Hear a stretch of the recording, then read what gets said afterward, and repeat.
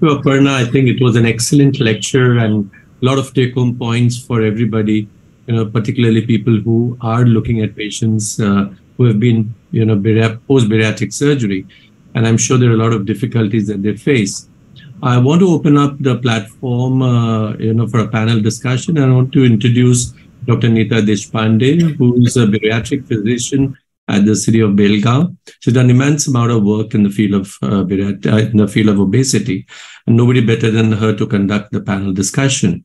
Would also like to take the opportunity to introduce Dr. Guillermo Umpierrez. He's the chairman of IDEC and the president of the ADA. And uh, it's wonderful to have you with us, Guillermo, and look forward to very active participation.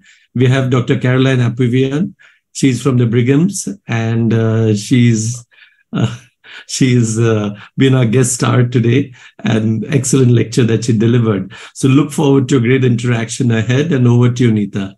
Yeah. Thank you, Sanjay. And uh, uh, I welcome everyone once again, especially those people who joined in late. And uh, we will now launch into the panel discussion, the question and answer session. And the very first question is from one of our very own IDEC members, Dr. Nitin Kapoor, who's here. But I'm going to read the question that he's posted in the chat box, and this is for Professor Caroline.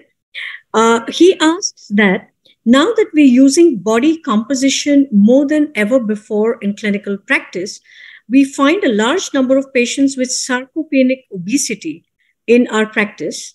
So, in addition to ensuring adequate protein intake and resistance exercises, what other tips or medications would you suggest that can help manage these patients? Wow, that's a great question, Dr. Kapoor. Um, first of all, while it's true that we have better techniques for measuring body composition, it's still true that the cheapest way uh, and, and most cost effective, easiest way of doing uh, of checking for obesity is still the BMI. So many people will not be able to check body composition. Having said that, we know that after bariatric surgery and in older patients, we know we're going to get a lot of muscle loss, especially if those patients don't do resistance exercise training and eat more protein. How much is more protein? 1.5 to 2 grams per kilogram of body weight. Most people don't get this kind of protein intake after bariatric surgery and in the elderly. So there are um, more uh, ways of enhancing body composition. Um, if the patient does have low testosterone levels and is a male, um, you know, they have to have low testosterone levels, but a little bit of testosterone replacement might help. Um, we're looking into uh, it's still research, but growth hormone still in research studies, not ready for prime time yet.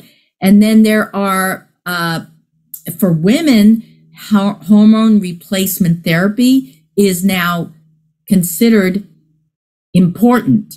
It, the, the WHO study, you know, was a flawed study that put hormone replacement in patients who already had heart disease, age 65. That's too late. That's why it showed an increased rate of cardiovascular events. We now know that it was a flawed study, and we now have our up to date women's health providers prescribing hormone replacement therapy for women in perimenopause. I urge everyone to look at the literature now and prescribe when necessary. Hormone replacement for women um, include and resistance exercise and higher protein. Same is true for men. Plus, consider testosterone.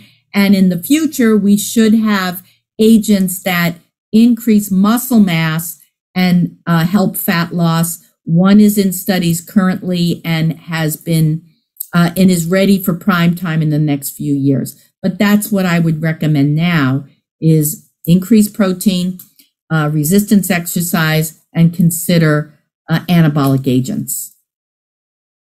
Right. So uh, there is one question that uh, I would like to ask Dr. Aparna, and that is that uh, in the population that needs bariatric surgery, people with morbid obesity with BMIs upwards of 40, and those who can afford it, there is a huge resistance to it as yet in India. despite the fact that they have tried and failed so many times at different kinds of uh, weight management. So, what, in your opinion, in a country like India, where bariatric surgery is still not taken off to the extent that it should, what, in your opinion, is the way that we go about educating the public uh, about bariatric surgery? I know you've covered a few myths and uh, uh, in your lecture, but in general, in short, could you tell us how we could do this? I think, uh, uh, Dr. Deshpande, one of the things which probably, I think the first barrier is that people don't look at it as a disease. That is number one. Uh, they still view it as, uh, you know, um, even today, I think in our country, these are people who would be uh, considered as coming from a, you know, affluent family and having enough food on table and things like that. Uh, second thing is that people are not aware about the the progression of the disease, what it can lead to. So even today, like I mentioned in my talk, that we see patients who come, then they don't get treated. Then there is an event which pushes them into surgery. And then when we evaluate, we see that the ejection fraction has gone down to 20% and they've missed the bus. So they don't know that this is how dangerous it can be, you know, for many, many people and or how it can affect their knees how it can lead to cirrhosis of liver. Today i mean obesity is one of the biggest causes for cirrhosis after i mean it's it's said to have overtaken alcohol as a cause of cirrhosis. So people are not aware about that and i think we need to educate them about the sequelae of obesity. Just like we've made them aware about the sequelae of diabetes and that is what has kind of you know uh, given a seriousness to that disease. So that is where we need to start working and uh, that would be one of the other things. Cost was definitely one of the barriers for uh, surgery as well. And i think probably with insurance coming in that barrier would be broken to some extent. But any surgery i mean including a surgery for gallstone i think we including cancer. I mean we've seen people going for alternative therapies and things like that. They don't want to get operated because there is a certain kind of stigma and fear attached with surgery. So that is bound to be there but there is a lot of work which we need to do i think. Right. Thank you for that. So there is a question here from uh, uh, Dr. Suresh Shinde from Pune, who is an avid researcher himself. And the question to, is to Dr. Caroline which says, does semaglutide have any peripheral lipolytic action in addition to its central anorectic action? Um, no, there is no uh, peripheral lipolytic action of uh, semaglutide. We are looking into its action as a uh, de- uh, uh, in decreasing the metabolic gap that um, occurs with weight loss. Um, and that metabolic gap may be restored by hormonal activity uh, that is dampened by loss of leptin. So we don't think that GLP 1s are working by directly increasing brown fat activity if that that's what i think the the uh, questioner is asking about. Um you know but we think it it does have another uh uh augmentation of energy expenditure by increasing the metabolic gap that is reduced by lack of leptin. Right. So uh, dr Guillermo has a question. So carolyn Thanks, thanks for participating with the IDEC. And yes, great so, to see you. So, so hard to uh, have an intake greater than 1.5 to 2 grams of protein a day. I mean, I'm in the 60s, and my wife told me that I needed to do to eat one gram of you know per kilo per day, and I can't eat 80, 100, or 75 grams uh, of proteins a day. Uh, how, how do you do it? That's a great question. Um, so, what I recommend to my patients is uh, a protein shake. And the best time, so in older patients and even younger patients, the best way to replace uh, muscle loss is um, not just at one meal. So most people eat most of the protein at dinner. That's not going to work because you need the muscle needs the amino acids during injury and uh, in between meals as well. And so, what I recommend to patients is to take in protein at each meal. So, that would mean in the morning, yogurt and milk and eggs, or a protein shake. Now, your protein shake, typically, if you make it yourself, you're going to get a whey casein powder that's going to give you 20 grams of protein per shake. All right. So you're going to mix that with milk and some berries to make it taste good. Now, that's going to be, you know, if you can't do that because it's so many calories, that's on, you know, that can give you, if you take it twice a day, it's going to give you an extra 40 grams of protein. If you can't do that, then there are powders that uh, there's one called Juven, J U V E N, that you can get on Amazon. That is a, a powder that you mix with water and it's amino acids. And the amino acids are all the essentials plus extra leucine and arginine. And it has been shown that um, if you use it right after um, you know, activity, physical activity, like, you know, you ran or whatever, um, it's going to go right to the muscle to uh, replenish those amino acids and help wound healing and muscle accretion. Juven, it was used in the hospital for older people, but I can tell you that the Patriots are using it for their football players to enhance muscle um, you know, uh, anabolism in between their, you know, practices. So I hope that's helpful. Yeah, very much. Thank you. Yeah, sure. Juven so, is the. Juven that was really an interesting question, and we all grapple with that. Uh, with uh, protein intake. So thanks for that question and thanks for the answer as well. So uh, there is one question. Uh, Sanjay has asked this question, and this is for Dr. Aparna. Uh, Post bariatric surgery, when there is weight regain, when do you decide to introduce either a GLP 1 receptor agonist or revision surgery? Or do you do both? Um, so this is a very gray area where I think uh, it's, it's completely as per the clinical discretion. There is no guideline for us uh, today to decide that at what juncture would I start using a drug or where would I institute a revision surgery.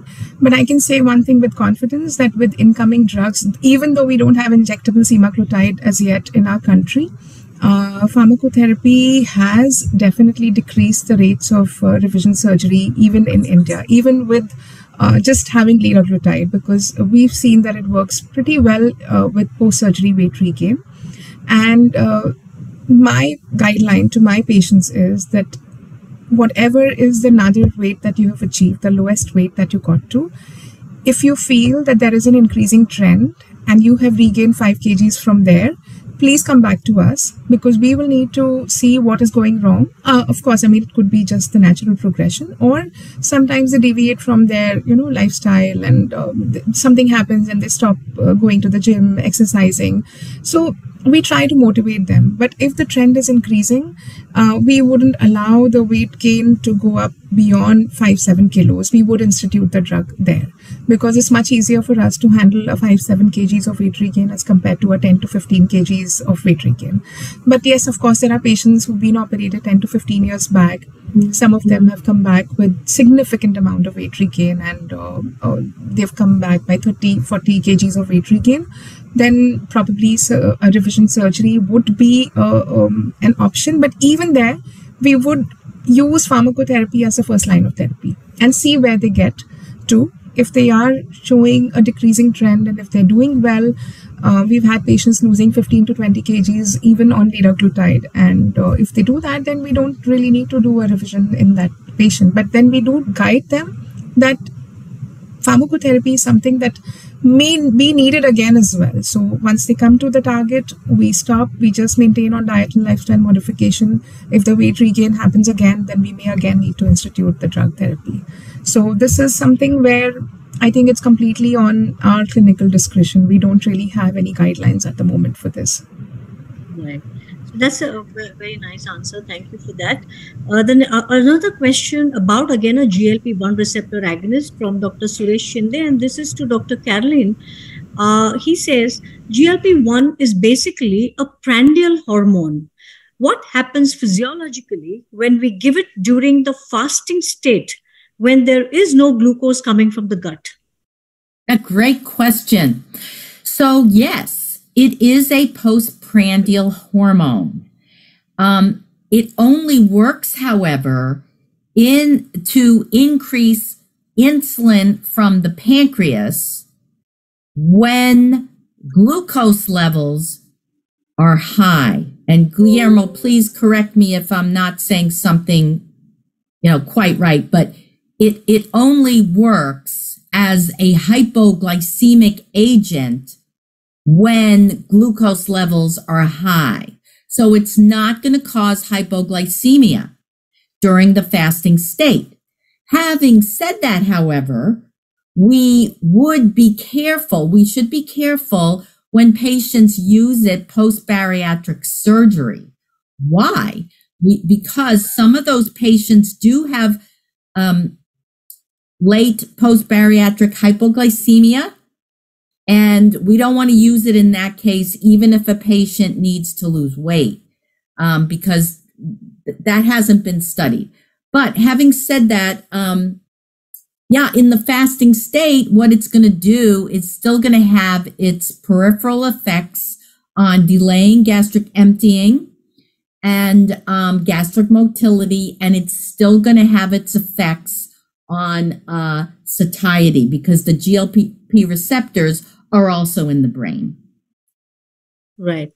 So uh, I think since time is running out, we will have one last question uh, from Dr. Anjali. She's raised her hand. So Anjali, uh, you can ask your question now. First of all, I would like to thank Aparna for coming and joining. She's a very dear friend uh, we know each other for more than a decade now, even probably more than that. Studied together, had a very wonderful journey together. So, uh, Dr. Aparna, I have a question. I'm seeing a couple of patients who uh, are now pregnant after their bariatric surgery. The micronutrient recommendations are they different in pregnancy compared to non-pregnant people? No, you did. So, pregnancy is uh, recommended after about 18 months of bariatric surgery. Uh, that is a time uh, when uh, they start eating better and uh, they're able to take a lot more food than they would in the beginning uh, of surgery. And um, what we normally do is that we would um, just do a check at that time to assess what is the nutritional deficiency status and supplement as per the deficiency state. We don't really supplement them extra apart from the normal uh, folic acid and stuff like that. But there is no additional uh, supplementation which is needed uh, just because of surgery. Sure. Thank you. Thank you, thank you so much. And uh, we've had a wonderful session. It has been a fantastic panel discussion. And i thank both the speakers all the delegates who have joined in and been very interactive. And uh, at the end i would just like dr sanjay to give concluding remarks before we sign off Thank you very much, Dr. Caroline, for accepting our invitation to speak today. It's been a wonderful lecture, and uh, I think all our attendees have been privileged to hear your thoughts on, uh, you know, on the subject. You have been a pioneer in uh, obesity, and obviously your recommendations go a long way, and it obviously clears a lot of doubts for all of us. Uh, Dr. Aparna. I just want to say something about Dr. Aparna's talk. It was wonderful. Dr. Aparna you gave a better talk than most of what I've heard in in uh, bariatric surgery talk. So excellent job. Thank you, thank you so much, uh, Dr. Caroline. And I'm, I am also very educated about the drug after your talk. So thank you so thank much. You. Thank you. Thank you, Aparna, for being here. And I think the greatest compliment comes from Dr. Caroline, for, and I think it's a very, very big compliment. And pleasure to have you with us. And we look forward to have both of you again and Dr. Caroline, we look forward to invite you to India for sure uh, during one of our uh, you know meetings, and uh, hope to see you soon in India. So thank with you. this, we'll sign off, and I would like to thank all the delegates for joining up and listening to this wonderful interaction on obesity. And from IDEC, we promise to bring you more science in future. So look out in the space for more, you know, scientific talks to come. And thank you the entire IDEC team who worked round the clock at the back end to make all this possible, a seamless presentation. Uh, so thank you all of you and good night. Thanks. Thanks once Thank again. Thank you. Thank you. Thank you, Anjali. Bye. Pleasure, Di. Bye-bye. Bye. Bye.